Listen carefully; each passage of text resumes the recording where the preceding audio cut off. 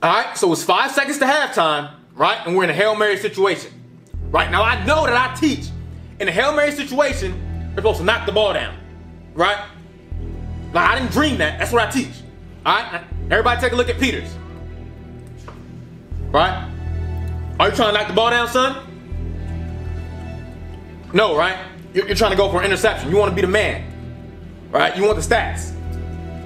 So what you need to do is go ahead and explain to me, right, and the rest of your teammates, why you think you're above the team, right? Why the rules just don't apply to you. Why you're your, your own coach out there, all right? Now I'm not trying to pick on you, Peters, right? It's just a teaching moment, right? I coach you hard because I see the ability, I see the potential, right? You could be an All-American, but it's plays like that that's getting in your way, right? I want you guys to get the stats. I want you guys to play loose. You're just a little bit too loose, right? Get it from your mama, right? You gotta rein that in. Get you playing all brand of football.